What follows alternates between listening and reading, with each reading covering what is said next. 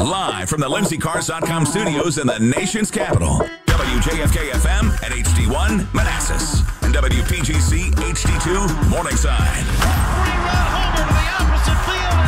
Your number one station for the Nationals and every Juan Soto homer.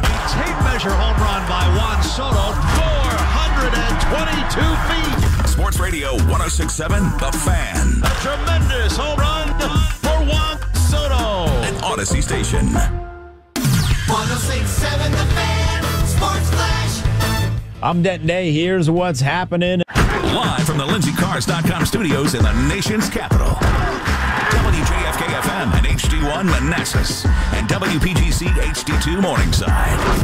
This is your home for the most Washington Commanders talk all off season.